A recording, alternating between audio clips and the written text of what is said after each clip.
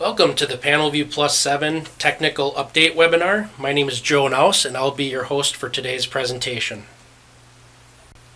Before we get started, I just wanted to make sure everyone was aware that Rockwell will be holding its annual automation fair in Chicago on November 18th and 19th. This is a great venue to learn about new technology such as the L8 ControlLogix, 5370 Compact GuardLogix, and the new PanelView 5500.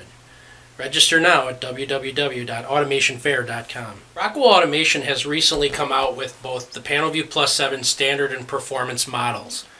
One thing you'll notice is that you're going to have more screen size options to choose from, higher resolutions, additional certs, you're going to have widescreen options available, and you're going to have sizes going all the way up to 19 inches. The PanelView Plus 7 standard is a machine builder focused product. It's for competitive machine builders that are facing a lot of pricing challenges. So this terminal was designed to have a one controller, up to 25 screen and 200 alarm applications.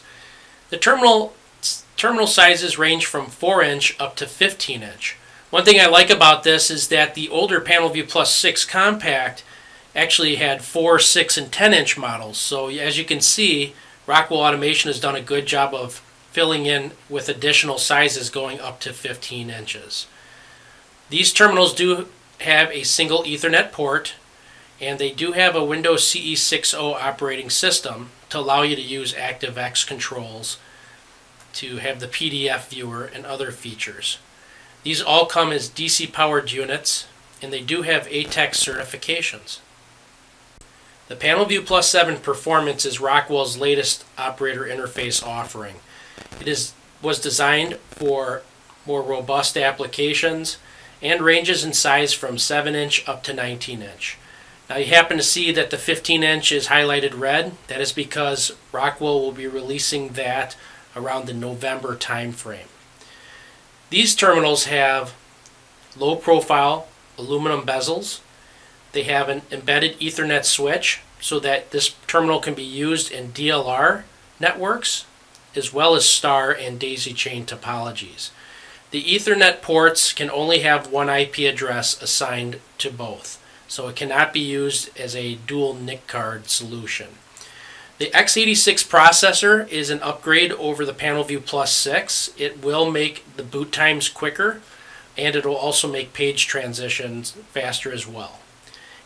The PanelView Plus 7 performance does have the extended feature sets that the PanelView Plus 6 with extended feature set has, and these come in AC and DC power options. This is a listing of the PanelView Plus 7 features for the standard and performance models. As you can see, the PanelView Plus 7 standard lines up very closely, if not the same, to the PanelView Plus 6 compact, where the PanelView Plus 7 performance model lines up from a feature perspective up with a PanelView Plus 6 with extended features. The difference really lies in the hardware changes. As you can see, the PanelView Plus 7 standard now has additional sizes going all the way up to 15 inches and the PanelView Plus 7 performance model goes up to 19 inches. Again, performance Model does have an x86 1.6 gigahertz processor, which will make boot times quicker, whereas the PanelView Plus 7 standard has an ARM 1 gigahertz processor. The PanelView Plus 7 performance line is available in AC or DC power versions. Doesn't have the same limitations that the PanelView Plus 7 standard has, and it is recommended to use Machine Edition version 8.0 to program applications with these terminals. There are 14 catalog strings that new catalogs that are Allen Bradley branded bezels and Rockwell also has come out with 14 new catalogs with no branding on the front. The PanelView Plus 7 Performance will still have VNC capabilities as well as FactoryTalk Viewpoint for mobility applications it will also have the PDF viewers so that one could have user manuals, installation guides, or SOP documents loaded on the terminal application. Widescreen and keypad options will also exist with the performance. The PanelView Plus 7 performance will have a different design than what you're used to. It's not as deep as the older older PanelView Plus 6. You'll also notice that there's the embedded switch ports that you see at the bottom left corner. You'll see that there's three USB ports for connection to peripheral devices. Again, an SD card slot will be available for data storage or terminal replication. And there are new installation clamps to make the installation or removal quicker than ever before. The PanelView Plus 7 will have Ethernet only communications.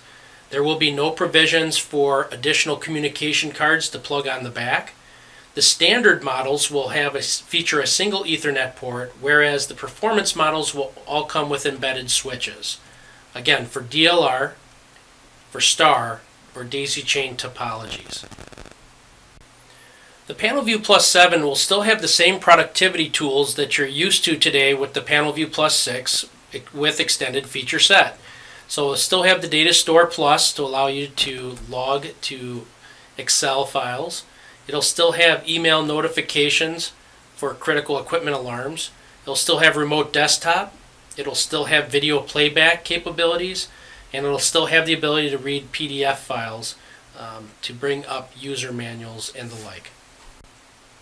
The PanelView Plus 7 will also have the same mobility tools that the PanelView Plus 6 has with extended feature set. So you'd be able to still use the FactoryTalk viewpoint to look at screens via web browsers. You'll still have VNC, which allows you to remotely control the PanelView Plus 7 with tablets or other PCs. You'll also have file transfer protocol, which will allow you to transfer files such as alarm logs or CSV recipe files remotely from the PanelView Plus 7 to your engineering workstation. The PanelView Plus 7 will also have SD card storage, and this will allow you to do things such as the terminal copy and restore. This is a nice feature for being able to make a complete image of your operator interface screen for backup purposes, or if you're a machine builder and want to replicate multiple operator interface screens, doing it quickly by just moving the SD card from one terminal to the next. So this uh, slide will show how the PanelView Plus 7 performance display sizes fare with the existing PanelView Plus 6 line. As you can see, the 9 inch and 12 inch are now widescreen aspect ratios. You can see that the 10 and the 15 inch, as well as the 9 and 19, have higher resolutions. There will be adapter plates uh, available for customers that want to adapt a PanelView Plus 6 to PanelView Plus 7. The PanelView Plus 7 performance has new catalog numbers. However, as you can see, the, the main bulletin number, the 2711P part stays the same. If you look, the main difference is the 22 at the middle of the catalog number and the P at the end indicating a performance. If you'd like a brandless option, you would simply put a dash B at the end of the catalog strings you see above. The PanelView Plus 7 Performance also has adapter plates and accessories. The catalog numbers at the top are the different adapter plates we discussed, and the mounting levers, terminal blocks, and overlays are listed below. The PanelView Plus 7 Performance price points are as listed.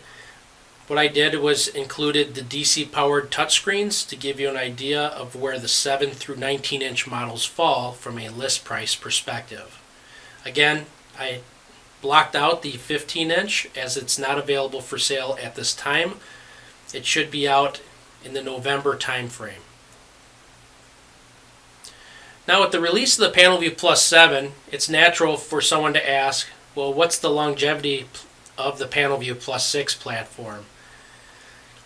After doing some research, I found that Rockwell plans to offer the PanelView Plus 6 throughout the end of this decade, so we're looking at around the 2020 timeframe. The PanelView Plus 6 terminals support the legacy networks, whereas the PanelView Plus 7s do not. So in situations where you do have to go DH Plus or DH45, the PanelView Plus 6 will be the right choice in that scenario. However, if you're a machine builder and are using PanelView Plus 6 compacts and are using Ethernet already, you should really consider moving to the PanelView Plus 7 standard. It's going to provide you with better price points and more screen options, and it again will give you give your end customers a longer lasting product. And remember, PanelView Plus 7s, whether it's a standard or performance, they only support Ethernet. So moving forward, if you decide to use this product, please keep that in mind. Well, this concludes our PanelView Plus 7 technical update. If you have any questions, feel free to contact me at my phone number or email address below. Thank you and have a great day. Goodbye.